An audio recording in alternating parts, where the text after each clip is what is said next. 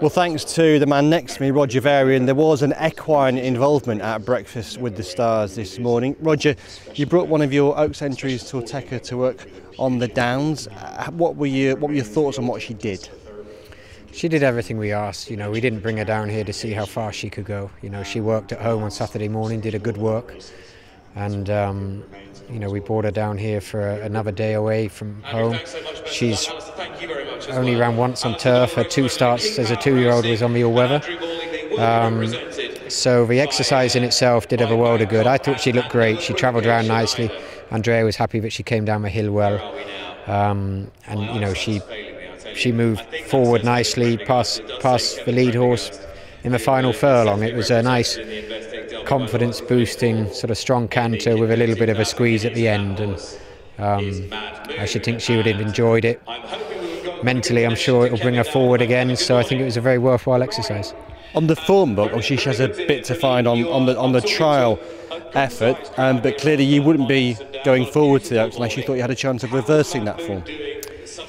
Yes, she, look, she was uh, no match of a winner at Lingfield, but she was four and a half lengths clear of the rest of her field, you know, with some nice fillies behind her. I went into that race not, not quite believing she had come to herself. You know, she had uh, took a while to get through the spring, and um, we weren't sure what to expect from her that day. So I was actually pleased with her run. Since then, she's you know really turned herself inside out. She looks a different filly. She's eating well.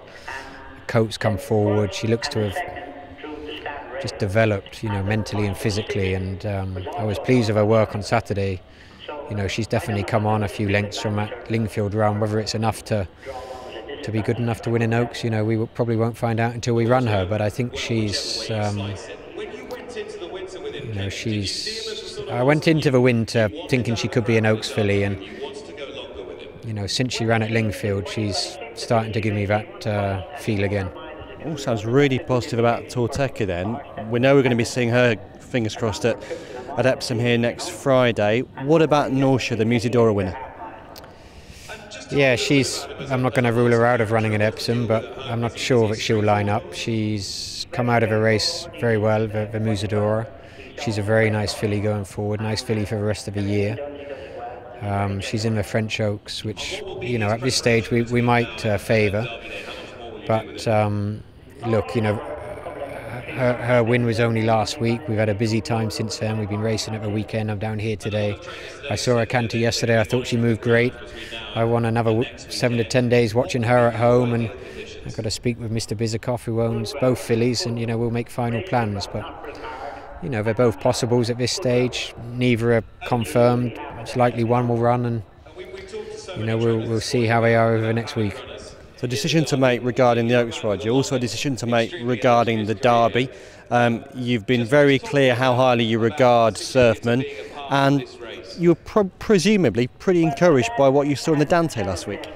Yeah, it was a very good run in the Dante. I thought it uh, stood him out to be a, a, pretty smart prospect going forward, which is what we wanted to see. It's what we felt he was, and um, it was a frustrating race how it panned out with the field being so strung out. But you know, I wanted him ridden cold that day. I wanted to learn a bit more about him. I wanted to give him a chance uh, early in the race, and you know that probably transpired against us in terms of how close we finished to the, the first two. But you know, he made up good ground in the straight. It was a very good run in defeat, and um, he's going to be a good horse going forward.